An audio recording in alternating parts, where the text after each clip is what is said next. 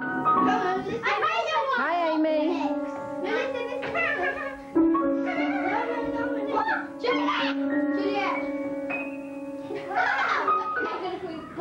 Juliet is a cool person. I mean, she bods the pink cat and let's go. Well, basically, well, basically, she's so popular oh. and has about half a million boyfriends. She has so many friends. Oh, I think, I think, I, hang on. Primary school, from day one, me and Amy were drawn to each other and we both loved singing. We had a group called Sweet and Sour because we were mimicking Salt-N-Pepa, who are our favourite rap duo. I was a rapper when I was a little kid rapper, and me and my friend had a little um, little act called Sweet and Sour because we loved Salt-N-Pepa so much. We wanted to be Salt-N-Pepa so much, we called ourselves Sweet and Sour.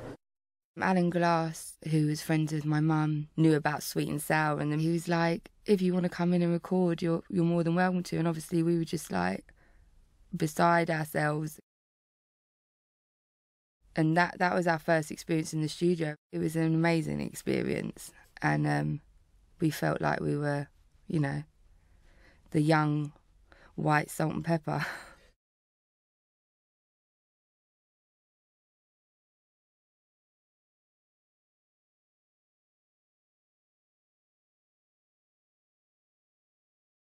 That's okay. I wasn't ready. I wasn't ready. I wasn't ready. When you get on, do you want me just to start the intro and you speak over, or do you want to speak them as I was reading the NME about Massive Attack making a new record, and it said they were looking for a new vocalist. The next day, I took Amy to meet Mark Picken, who manages them. We all hit it off, and very quickly offered to send her down to Bristol to work with them. There was two or three trips like that.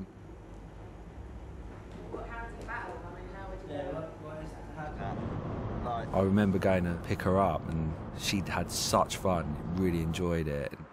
Got in the car, I was like, Have you got any music? And she was like, Yeah, but I hate it. And I was like, What do you mean you hate it? You're working Massive Attack. You're great, they're great. She was like, It's whale music. It's great, they're brilliant, and I'm having a great time. It's not for me. I kind of knew it wasn't the right direction, but it just felt like an exciting, will she feature on a Massive Attack record, and then all of a sudden the world will know who she is. But it wasn't meant to be. But when someone like Massive Attack are interested in an artist, word gets around.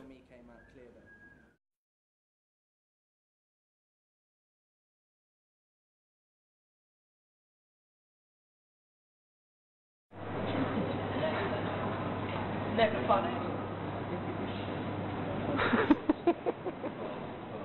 I met her and she was very unconventional, certainly not what you would have expected from the voice. Clearly, she had a love of hip hop and, and urban music, which was very much my background. Guy started making stuff happen. He, you know, he called Salaam Remi.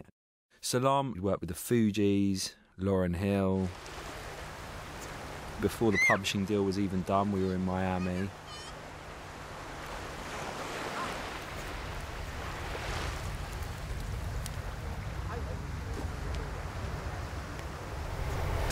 For my fir- first time I met her, I knew she was a natural.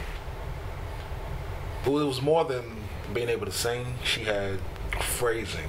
She knew how to sing a song in three or four different ways. Like she can style it off just as if it's like a jazz musician. So it's kind of like, okay, so how good are you going to get?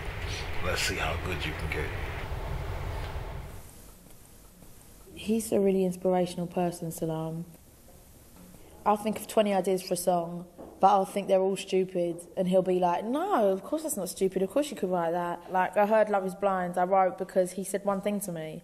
He said to me, Her eyes were like yours. And I was just like, Her eyes were like your, her, his eyes were like, his eyes were like yours. And I wrote the whole song in about 10 minutes. I couldn't resist him. His eyes were like yours. His hair was exactly the shade of brown. He's just not as tall, but I couldn't tell. It was dark and I was lying down. We did I Heard Love is Blind and Cherry that week. I did the songs mainly with guitar, recording the vocal first, then I would build out the arrangement. And that's just the way she became accustomed to working with writing the song and then building it out.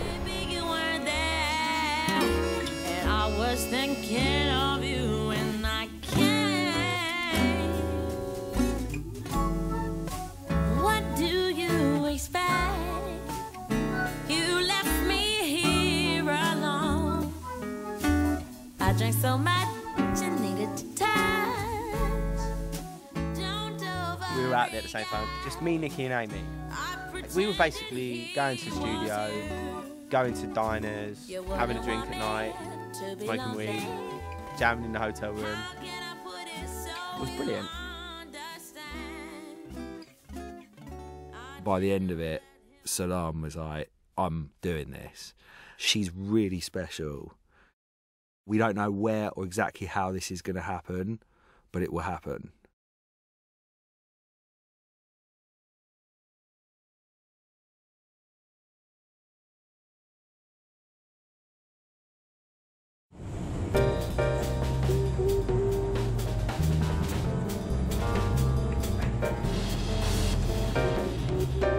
The other producer I really wanted to get her in with was Commissioner Gordon, who did Miseducation of Lauryn Hill. Sent him some music, and again, straight away, was like, get her out here now.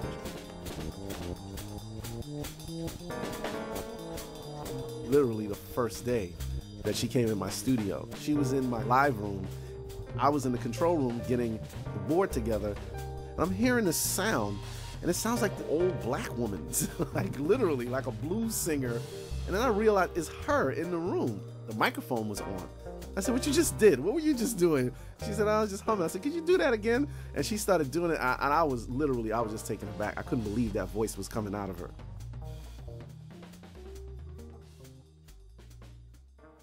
he used these amazing musicians from Jamaica that were all Bob Marley's old musicians. He'd have to have a huge bag of weed for them when they got in, and there'd be like a cloud of smoke in the studio, and you'd be so stoned just by sitting in the room.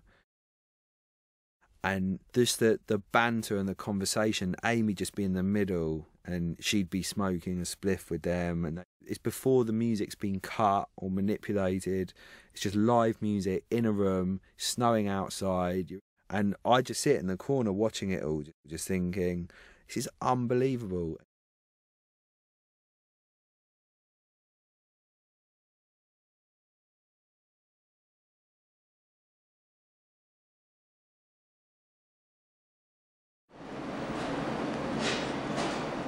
Hello.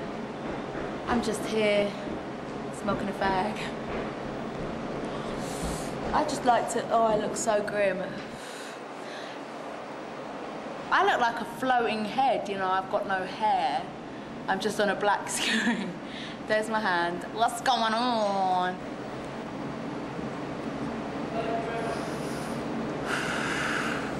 Where's the off? Where's the off button? There it is. See y'all.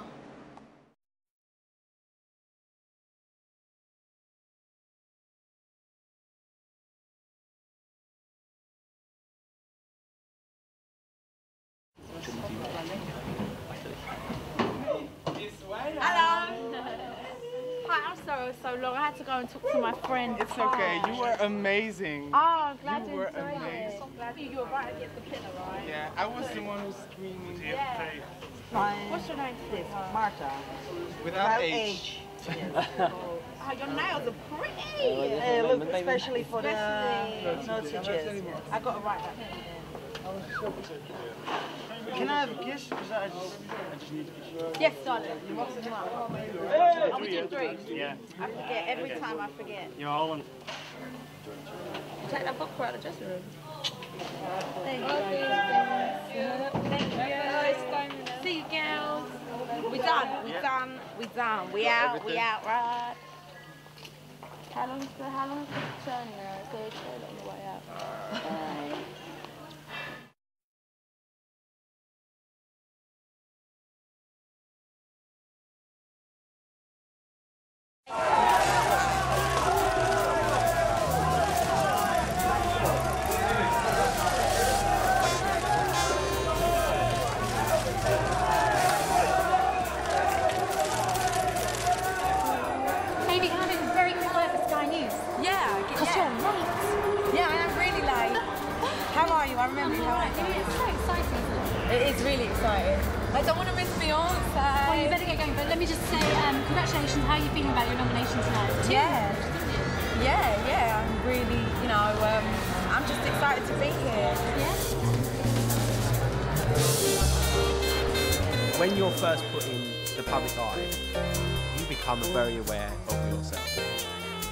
press have a very clever way of saying things, don't they?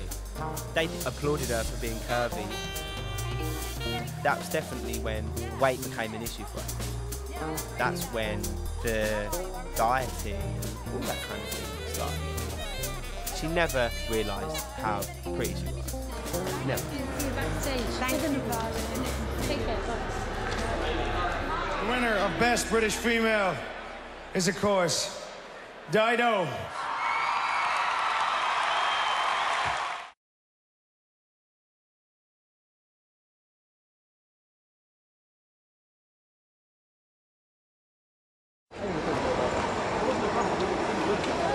Amy, Hi. be careful. Thank you. How are you? Gracias. I can't. what are you up to Wait, that's actually Spanish, isn't it? Wait, do you want me to make it look like I'm waiting?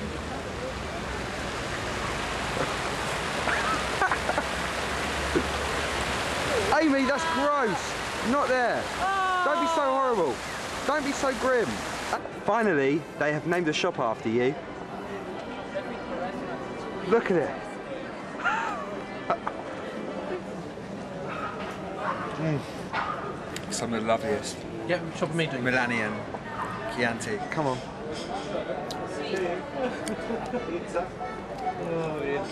Yeah, now drink it. Come on, imagine it's toffee vodka. I'll have a nice day today. I only drink toffee vodka by the bottle, not from a glass. How does it feel drinking that in Milan? Good. Inter or AC? Hey, Stu. Pizza or pasta? Pasta. Red or white? Red.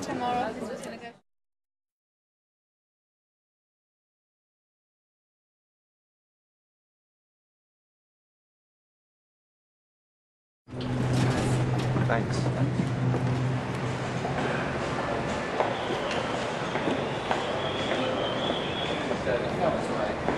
Let me figure out what's up.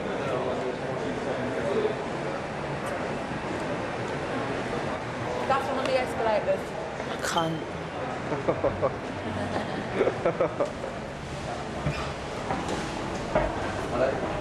Okay, So darling. Anastasia, Yeah. tell me, how does it feel to be in New York? Phil, Flash up with your name. ever since I won the competition to leave my home country, it's beyond joy. Beyond joy? I can't express Have the you way I been to truly Times. Square? They said it's I've like never life- been on an escalator before. Amy, I'm just going to go get a, uh, a map, find out a good place to No, eat. no, no, no, no. No, no, because We'll just they're find really somewhere. good. They're really Come good. on. They got a really good map in there. Yeah, alright. The next shot will be us lost in New York. Why are you filming me that close? I'm ugly.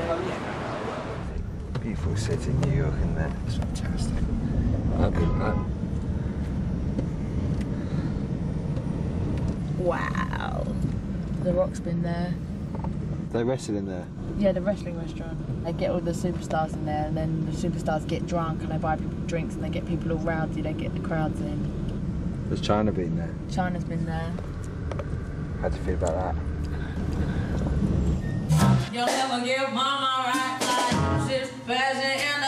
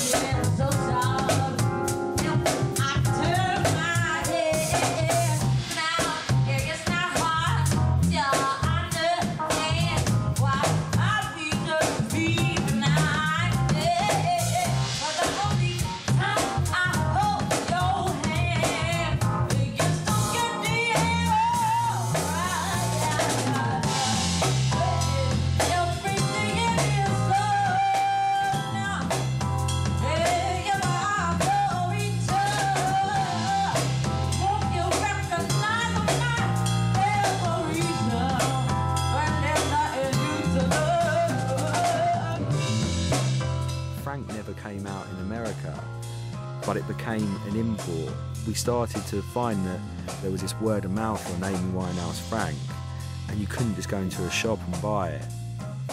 We found that there was this community of people that had really tried to source an Amy record, and therefore they felt exotic, they felt special.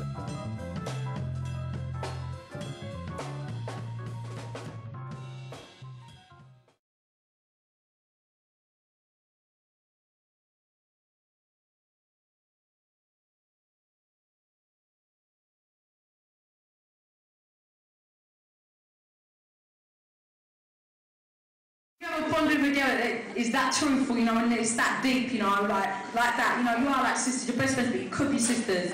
When her man, whoever the fuck he is, when her man comes to my house like, yeah, uh, you got something I can roll with. No, I fucking don't. I don't have anything you can roll with. This is what this is about. It's called addicted. Um, it's about it's about my girl's boyfriend coming around thinking he can smoke my, weed when it when he really really really, really can't.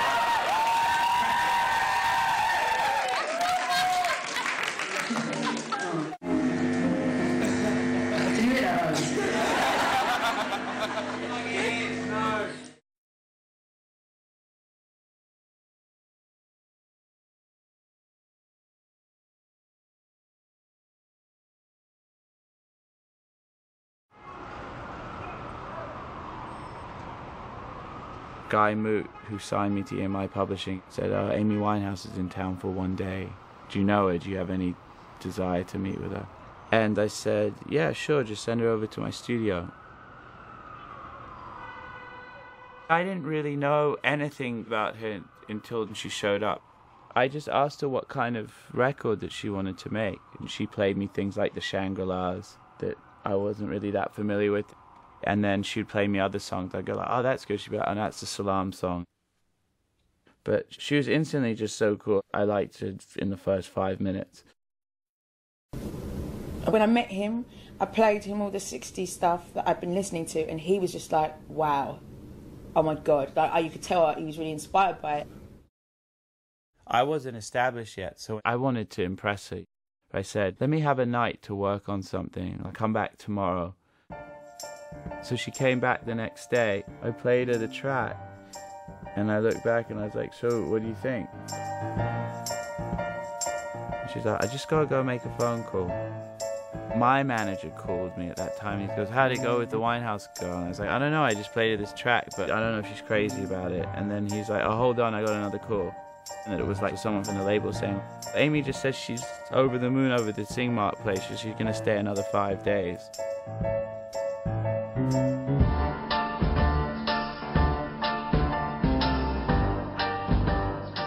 Mark is such a cool guy.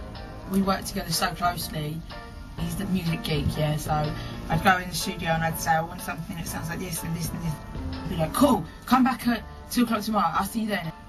And he'd have come up with some really cool beat.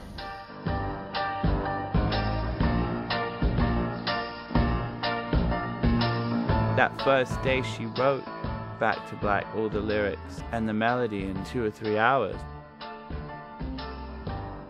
She would tell me stories about Blake and this tempestuous, crazy, extreme relationship. He left no time to regret. Kept his dick away with his same old oh, safe bag. Me and my head high and my tears dry. Get on without my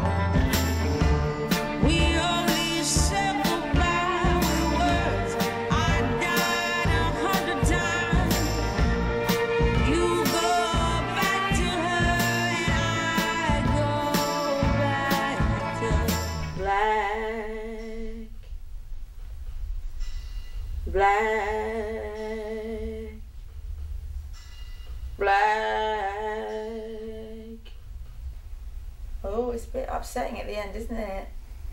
Oh, boom, boom, boom.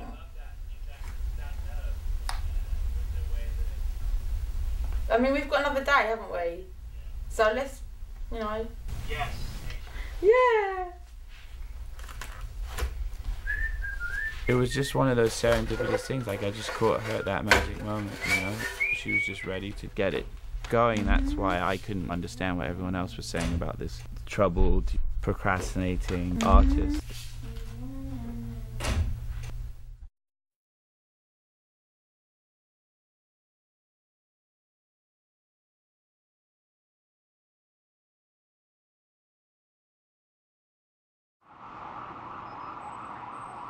I was walking down the street with Mark Ronson, and purely as a joke, I sang a hook. She was like, they tried to make me go to rehab, and I was like, no, no, no. And she did like the put up the hand. He was like, "Who is that? That's funny." And I was like, "Well, I just made it up. It's, it's nothing. It's stupid." He's like, oh, "That'd be such a cool idea for a song." And I was like, "Well, let's go and do it then, because it's true." Do you know what I mean? I mean, it's quite a novelty idea. It's a novelty song. I'm used to writing songs that take me a year to write. So, because it's such a silly little song, I was like, "We could do it in five minutes. Come on."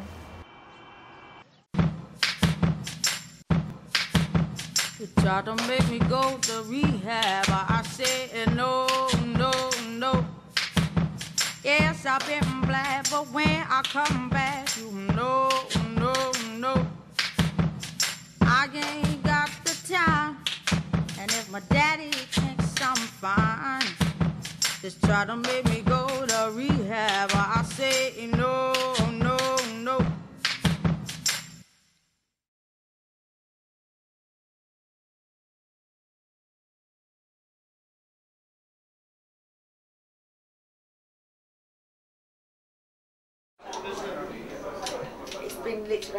Literally, I brushed it so long.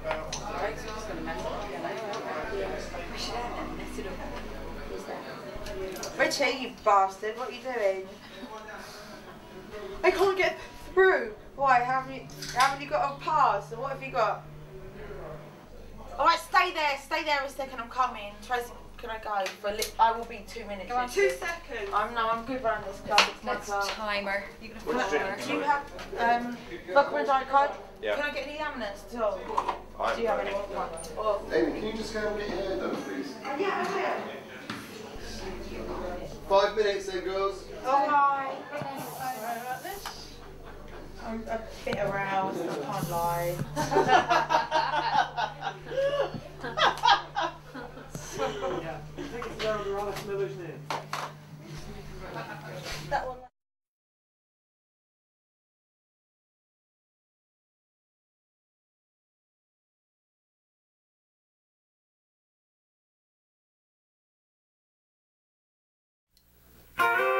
sometimes I go out by myself and I look across the water. And I think of all the things what you're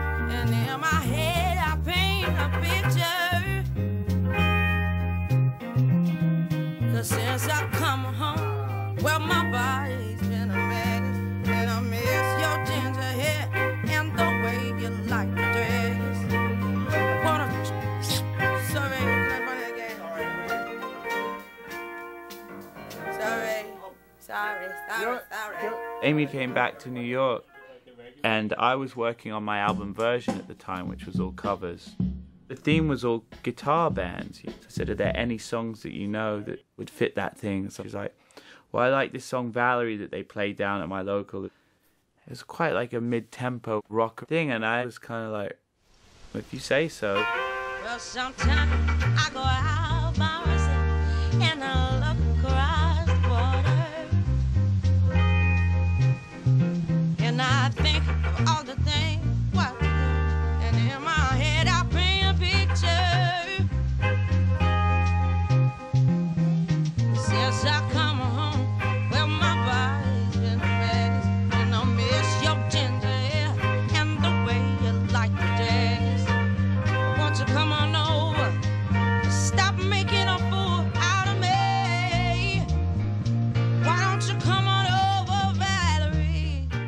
didn't actually meet her and track with her until we did Valerie.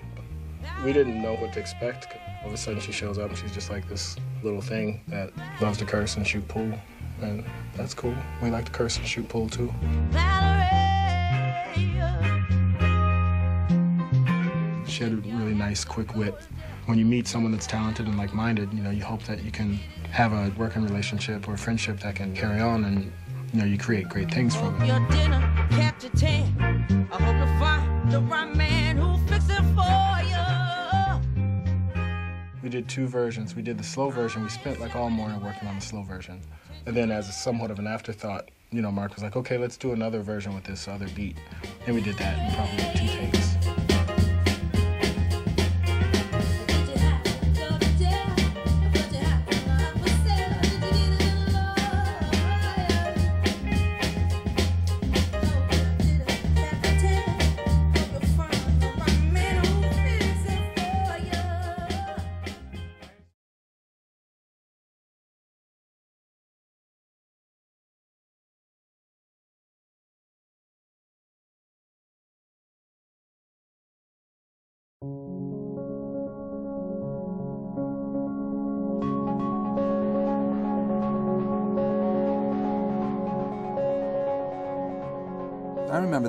First time I heard Amy, it was from the Frank album. And at the time I chalked it up to, you know, here's another very cool, sophisticated British artist who has no shot of crossing the pond.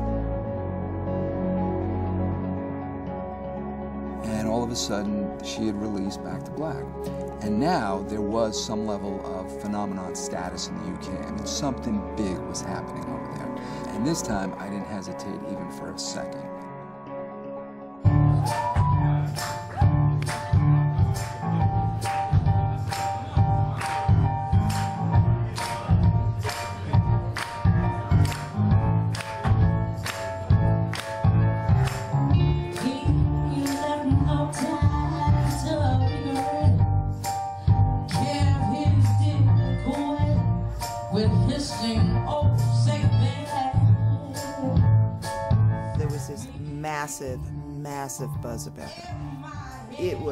Jammed to the rafters. Mos Def was there, Mark Ronson was there, Jay Z was at the second show. And everybody seemed to be very aware of who she was.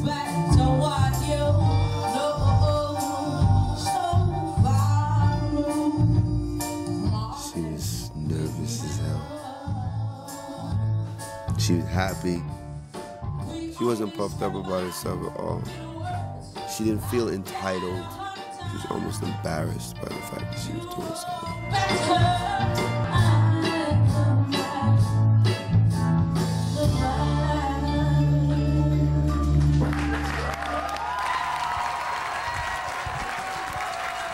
It was an amazing show. It was one of those shows where you walk out and you're like, holy fuck. But you could sort of see it then that she was an artist. She was not cut out to be a star.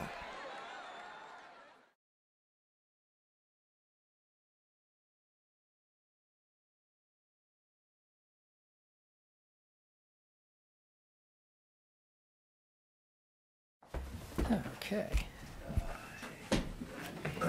All right. Good afternoon, guys. Happy Friday. Don't have anything to start you out with, so Um, Tom, it being Friday, I've got a couple of consular issues to ask. There you Um, go. First one Does the State Department believe that Amy Winehouse, her music or her behavior poses a threat to the United States? And if not, why did you reject her visa application? um, the State Department believes that uh, she is ineligible for a visa under the terms of the Immigration and Nationality Act. I don't believe anyone ever used the word threat associated with it, but there are many reasons for which um, individuals are not el- eligible or otherwise need to have a waiver processed. Um, the main point in this, Matt, is uh, she's not eligible under the, the basic terms of the law unless a waiver is processed for. She's asked for one. I understand uh, Department of Homeland Security is considering it, and uh, yeah, we'll see what happens.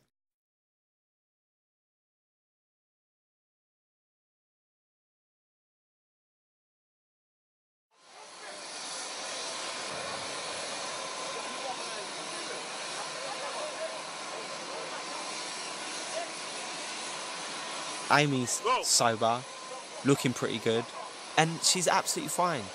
So happy. She's fine because she hasn't got to do it anymore. I met her in Istanbul. I said to her, the world is your oyster. You can do whatever you want. And we were talking about going away anyway, maybe relocated somewhere. She said, yeah, I feel really good. That sort of cloud's gone. And didn't drink that month.